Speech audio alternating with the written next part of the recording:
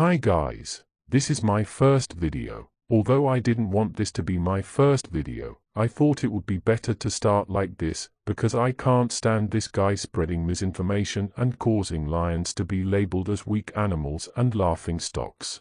That's why I'm here to highlight some points that show that it shows videos out of context and does making lions appear inferior to tigers, when in fact they are not. Let's start.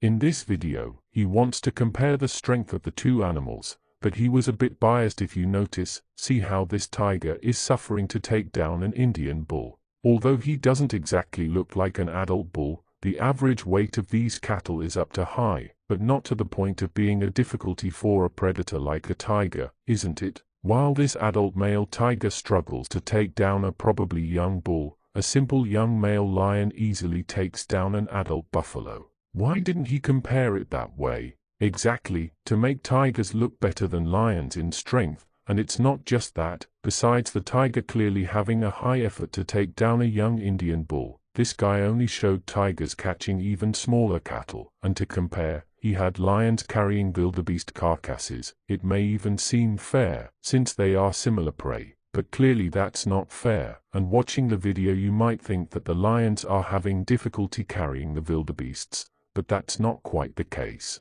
Besides the tiger's cattle clearly being smaller and lighter, the dry terrain and everything makes everything more difficult than a soft forest floor, it is much easier to drag a heavy thing on soft ground than on hard ground. Furthermore, it makes no sense for him to want to compare the loading time of carcasses, even though wildebeests are lighter than these cattle on average, you can clearly see that they are heavier than cattle that tigers carry.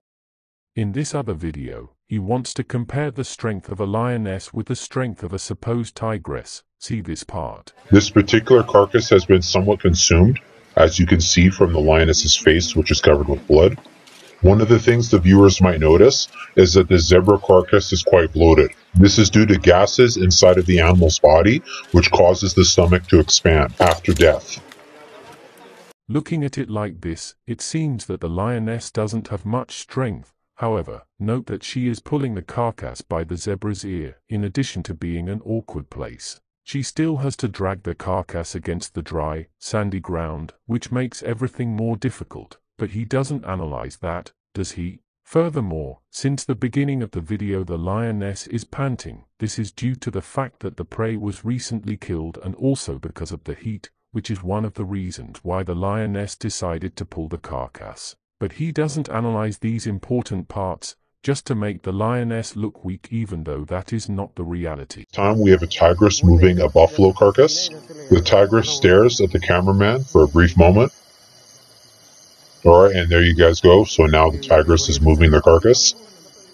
Unlike the lioness example we saw before, this tigress is actually dragging the carcass up a hill. Despite this obvious disadvantage, she does quite well. Judging from this side-by-side comparison, overall I would say the tigress probably performed a little bit better in this particular comparison. The lioness had to stop more frequently, and she was pulling the carcass more slowly, whereas the Tigress was able to do it a little bit more effortlessly and with more force behind it.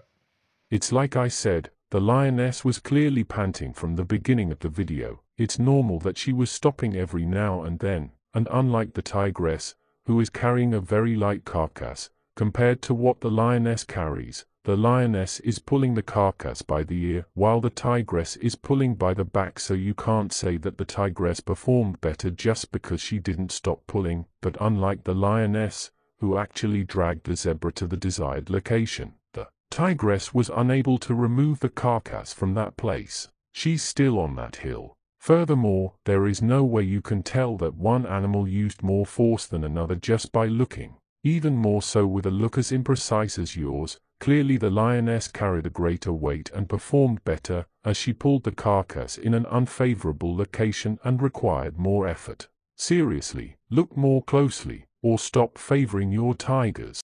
As we can see here from this video clip, this tiger has made a kill on an adult bull gaur. Utilizing its jaws, as well as its back muscles, the tiger is successful in flipping over the bull carcass. Alright guys, now it's the lion's turn to give it a shot. This lion has made a kill on a Cape Buffalo. He utilizes his jaws to try to move the carcass. However, he doesn't quite succeed. Do you understand now why I'm making this video to show that it favors tigers? Seriously, it's extremely ridiculous how apparent this is, although the lion also ate a large part of the buffalo. The big reason he didn't pull the carcass was because, like you, the lion didn't see the tree blocking his advance. And I wasn't the only one who noticed this, a guy in your comments warned you about this, but look what you said. Since you didn't notice the tree moving, I'm going to make a point of playing the video several times, and since your look doesn't seem to be all that sort of thing, I will make sure to point to the tree so you can see it. Judging from this side-by-side -side comparison here, it looks like the tiger had a much easier time moving that carcass. And this is especially impressive considering that bull gaurs weigh significantly more than Cape buffalo do.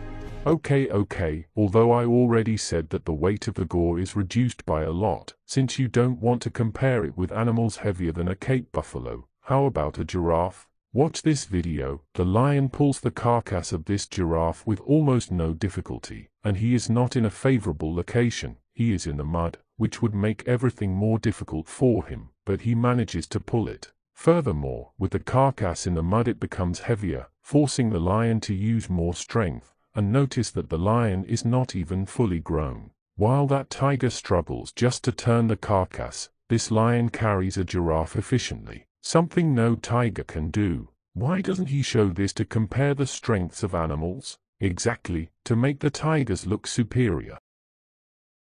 Well, although this video apparently shows that a baby tiger is stronger than a slightly older lion, I have an explanation for this, and unfortunately it involves physics. I'm not a physics fan, but I learned enough to explain it. Physics explains that in a tug of war, the one who has more support on the ground, that said, if two opponents have the same strength, the one with more support on the ground will stand out. This is also true for different strengths. For example, if someone is stronger than the other person, if the weaker person has more support they can either match the strength, or be able to overcome it depending on the difference in strength between individuals. To explain better, let's use the most everyday example. Let's imagine a child she wants to pull the grass out of the ground but the root is attached to the ground, so the child has to use a lot of strength to pull the grass, even though it is bigger than the grass, because it is attached to the ground, it makes this more difficult. What I want to say is, see that the lion, in addition to not having a support on the ground at any time, is not holding in a favorable place, while the tiger, in addition to having a favorable part of the clothing, is managing to stand firm. I recognize that this tiger is strong, but not to the point of overcoming the lion as this video points out. The lion doesn't even grab a good spot and doesn't even try to stay firm. That's why this tug of war ended this way. In this video, we clearly see an old and sick lion, but the only thing he wants to show is the lion apparently being submissive to the tiger, something that even this lion being sick doesn't show no kind of submission. This lion, as we've seen in previous videos, seems to be very submissive around this particular tiger. Besides, why doesn't the tiger attack the dog, who is smaller than him and is healthy? The tiger clearly fears the dog, because he knows that the dog will fight back if he attacks, unlike the lion, which has almost no strength to defend itself, and as you said in the video, the fact that the zoo is Chinese explains a lot about the health of this lion. In this other video, we also see a sick lion, he probably had his mane shaved, it looks so strange, meanwhile the tigress looks very healthy unlike the lion, contrary to what he says, this lion is not healthy, just look at him, does he really look healthy to you? Seriously, that's a healthy three-year-old lion, that's a healthy three-year-old lion, that's a healthy three-year-old lion. This lion must be six years old and is probably a dwarf lion, a common thing the Chinese use to make lions look smaller. In this other video, he decided to make a size comparison with one tiger and the liger, Hercules, which is the largest liger ever recorded, who weighed 900 pounds, 418 kilos as an adult, and had a length of 3 meters and 33 centimeters, and a height at the shoulder of 1 meter and 25 centimeters. No tiger reached his size, but according to him, this tiger would have. But notice, that the tiger is in a place higher than the floor of Hercules. In addition, the keeper had to lean on that place to feed the tiger, and after researching a little, I found the keeper with the supposed tiger in the video, but I'm not saying anything, but him calling him a giant tells me a lot. Now look at the size between the two, it's not so similar anymore how much he made it seem, isn't it? Although Doc Antle and Tyler Nolan are actually the same size, Hercules never had any actual tiger his size. This is the importance of research. I think it's amazing how much he can find something to show how the tiger isn't healthy in a video, pointing out a cataract. I even praise that you notice such subtle things in tigers, but ignore that the lion is clearly sick and old and almost malnourished. Although you notice that the lion has a missing canine, it was just to show that the tiger apparently has none. You notice that tiger don't have balls, to say that it's a tigress, but it doesn't say that the lion is sick and dwarf. I'm not even going to waste my time talking about your other videos, because besides fanaticism, you just make lions look weak, the and this video here, which you say exposes the truth of ancient Rome, when in fact it just shows a painting of a lion killing a leopard and shows it in other places, and with that, assume that lions only killed leopards in ancient Rome, when in fact this is not the case, stop spreading lies and misinformation, I hope that if you have seen this video, have understood everything correctly, since apparently you don't understand the language yourself.